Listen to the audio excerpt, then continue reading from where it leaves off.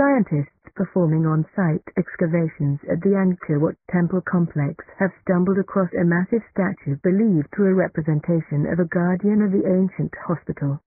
The Angkor Wat Temple is said to have been built by the Khmer king Suryavarman II sometime during the early 12th century. Wat is the Khmer word used for a temple? Experts who participated in the excavation include researchers from Singapore's Institute of Southeast Asian Studies, who together discovered the massive statue according to the government agency that oversees excavations, the Apsara Authority.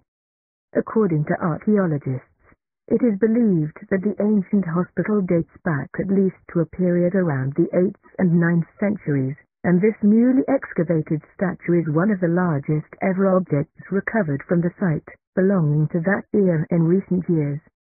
The discovery shows just how many ancient artifacts remain hidden beneath the surface, not only at Angkor Wat, but numerous other archaeological sites around the planet.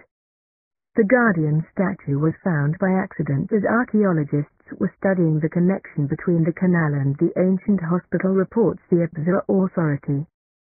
The six-foot-tall statue isn't intact. It is missing both of its feet.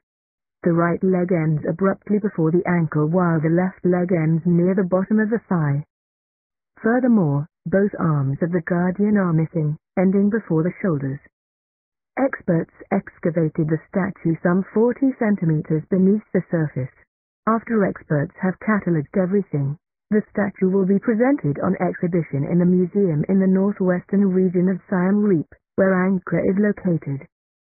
Experts believe how the statue dates back to a period around the 12th or 13th centuries and was used as a protective symbol at the entrance of the hospital built during the reign of King Jayavarman VII posthumous name of Mahaparamasaugata, ruler of the Khmer Empire in present-day Siem Reap, Cambodia. The Khmer Empire is believed to have flourished from approximately the 9th to 15th centuries. The greatest legacy left behind by the empire is without a doubt Angkor, the capital city during the empire's zenith. The breathtaking monuments of Angkor, like Angkor Wat and Bayon, are evidence of the Khmer Empire's massive power and wealth their breathtaking art and culture, as well as their extraordinary architectural techniques and aesthetical precision. The site was so massive that satellite images have revealed that Angkor, during its peak between the 11th and 13th centuries, was the largest pre-industrial urban center on the surface of the planet.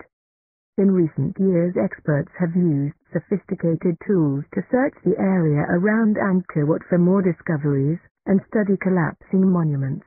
With the help of radar and satellite imagery, experts are able to see changes in groundwater and how they are causing rapid decay of the monuments.